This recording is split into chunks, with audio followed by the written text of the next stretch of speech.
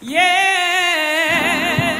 oh yeah, yeah, yeah.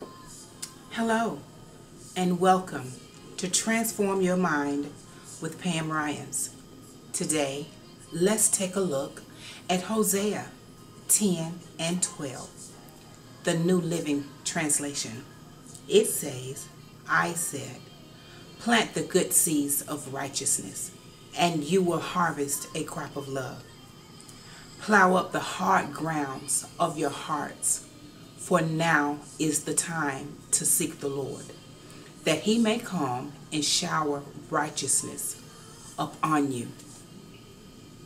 This passage lets us know that we're going to have to take action, that we're going to have to plant, intentionally plant a seed of righteousness, a good seed.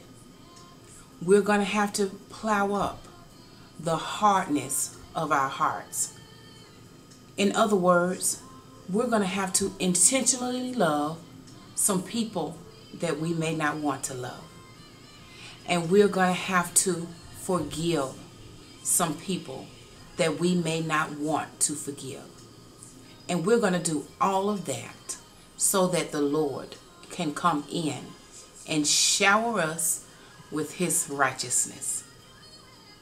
Now is the time for us to be intentional with our praise, intentional with our words, and intentional with our actions.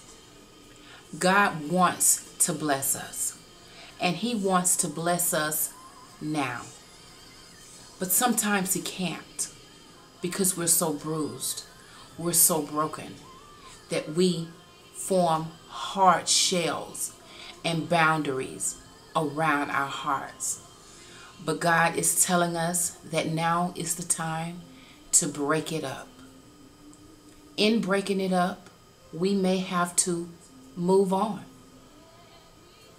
And we can do it all with the strength of Christ. So I'm asking you to be intentional with your planting. Intentional with planting your words. Speak life even in dead situations. Open up your heart to something or someone that you may have never intended. And we're doing it because we're seeking righteousness. So transform your mind. Let go of some of those things that we're holding on to and allow the Lord to shower us with His love. Have a great day. I love you. See you soon. Be blessed.